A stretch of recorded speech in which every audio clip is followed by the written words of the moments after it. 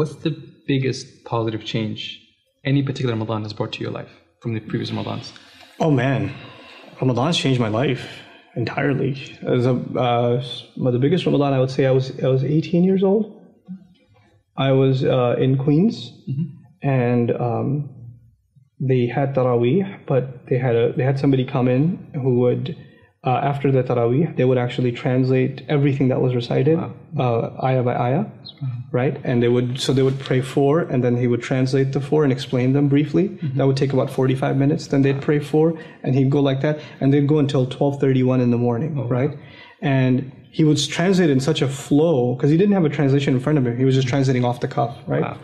Uh, that and I didn't know any Arabic at the time, so I'm listening to this, and I felt like, man, I mean, I forgot that he's talking. I just remember Quran talking, you know?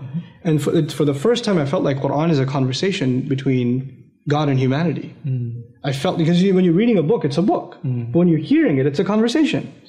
And w- originally, the Quran was what? It was heard, right?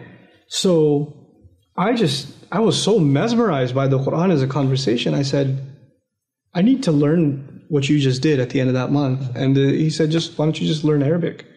I was like, okay. and then I started learning Arabic, and here we are. So it started in a Ramadan, you know. Subhanallah. SubhanAllah, SubhanAllah.